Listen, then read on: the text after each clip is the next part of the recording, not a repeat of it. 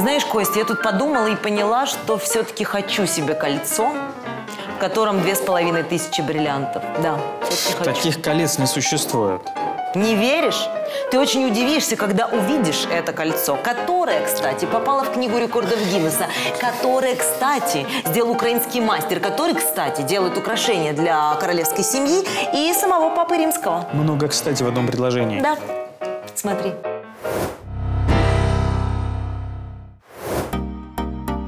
Этот человек уже 20 с лишним лет создает ювелирные шедевры для президентов, королевских семей и самого Папы Римского. В его салон в Киеве попасть можно только по записи. Прямо у входа выставлены скульптуры, каждая из которых стоит от нескольких сотен тысяч до миллиона долларов. Правда, это как раз тот случай, когда грабить ювелирный салон бессмысленно. Фирменное клеймо на каждом объекте служит лучшей защитой от краж и подделок. Мы э, создаем предметы ювелирного, современного ювелирного искусства из всех областей, где человечество, цивилизация накопила эталоны. То есть это оружие, посуда, кабинетные вещи, скульптура. Игорь Лабортас основал свой классический ювелирный дом еще в начале 90-х, когда в Украине раскручивалась гиперинфляция и деньги обесценивались быстрее, чем их печатали.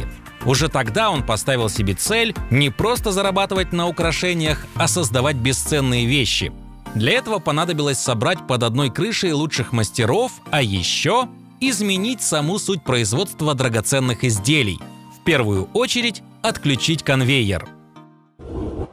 Одно из главных достижений ювелиров Игоря Лабартаса – метод по закреплению в металле бриллиантов диаметром полмиллиметра без использования клея. Сегодня это одна из 130 технологий, запатентованных украинцами – и именно так появилась непревзойденная царевна-лебедь.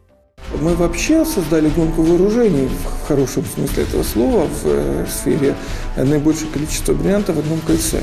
Мы создали царевну лебедь 2525 бриллиантов. Это не ошибка и не преувеличение. В одно кольцо из 18-каратного белого золота вмонтировано 2525 бриллиантов общим весом 10,5 карат. Микроскопические камни родом из Индии. Там же была проведена их огранка.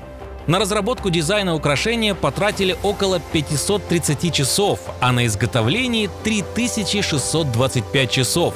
Его оценивают в 2 миллиона долларов. В 2011 году царевна-лебедь попала в книгу рекордов Гиннесса как кольцо с наибольшим количеством бриллиантов. Правда, в прошлом году в Индии превзошли это достижение. Кольца – лишь одно из направлений украинского ювелирного дома. Игорь Лабортас любит создавать массивные объекты из драгоценных материалов. Ювелирная скульптура «Море Галилейское» – одна из таких работ – она изображает христианского апостола во время рыбалки. На глубину опускается сеть из тончайших золотых нитей. Но по-настоящему эта скульптура раскрывается при свете.